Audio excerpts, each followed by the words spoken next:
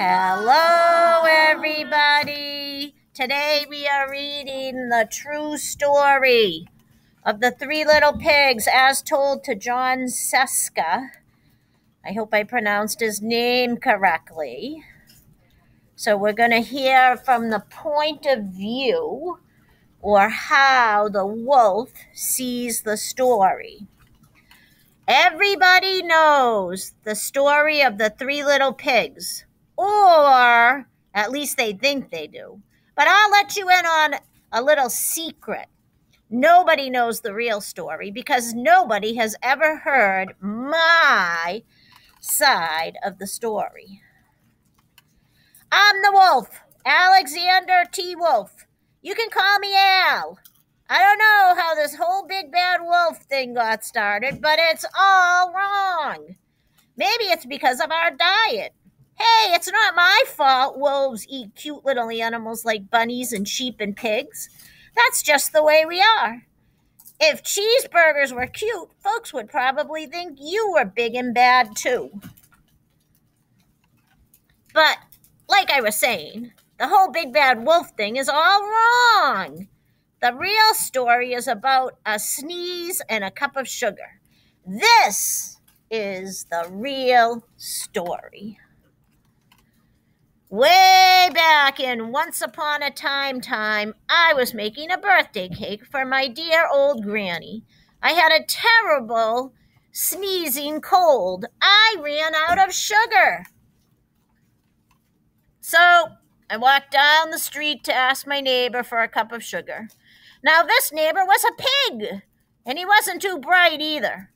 We had he had built his whole house out of straw. Can you believe it?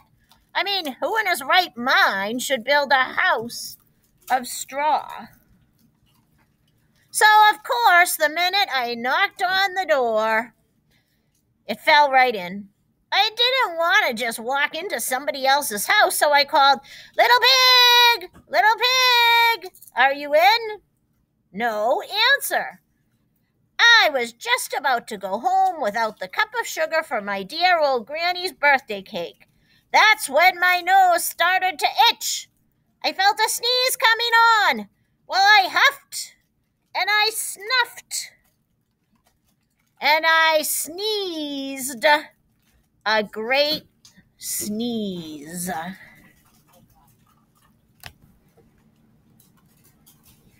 And you know what? That whole darn straw house fell down, and right in the middle of the pile of straw was the first little pig, dead as a doornail. He had been home the whole time.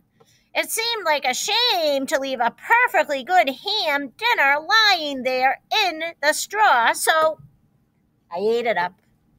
Think of it as a big cheeseburger just lying there. I was feeling a little better, but I still didn't have my cup of sugar, so I went to the next neighbor's house. This neighbor was the first little pig's brother. He was a little smarter, but not much. He had built his house of sticks. I rang the bell on the stick house. Nobody answered. I called, Mr. Pig, Mr. Pig, are you in? He yelled back! You can't come in. I'm shaving the hairs on my chinny chin chin. I had just grabbed the doorknob when I felt another sneeze coming on. I huffed and I snuffed and I tried to cover my mouth, but I sneezed a great sneeze. And you're not going to believe it. But this guy's house fell down just like his brother's. When the dust cleared, there was the second little pig, dead as a doornail. Wolf's honor. Now, you know food will spoil if you just leave it out in the open, so I did the only thing there was to do. I had dinner again. Think of it as a second helping. I was getting awfully full, but my cold was feeling a little better. And I still didn't have that cup of sugar for my dear old granny's birthday cake. So I went to the next house. This guy was the first and second little pig's brother. He must have been the brains of the family. He had built his house of bricks. I knocked on the brick house. No answer. I called, Mr. Pig! Mr. Pig! Are you in?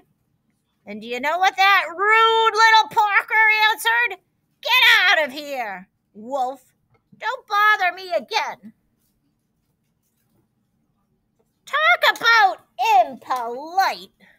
He probably had a whole sack full of sugar, and he wouldn't give me even one little cup for my sweet old granny's birthday cake. What a pig! I was just about to go home and maybe make a nice birthday card instead of a cake when I felt my cold coming on. I huffed and I snuffed and I sneezed once again. Then the third little pig yelled, And your old granny can sit on a pin. Now, I'm usually a pretty calm fellow, but when somebody talks about my granny like that, I go a little crazy.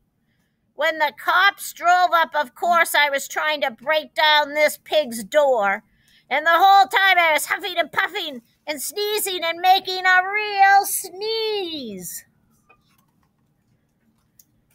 The rest, as they say, is history. The news reporters found out about the two pigs I had for dinner. They figured a sick guy going to borrow a cup of sugar didn't sound very exciting. So they just jazzed up the story with all that huff and puff and blow your house down. And they made me the big bad wolf. That's it. The real story. I was framed. But maybe you could loan me a cup of sugar.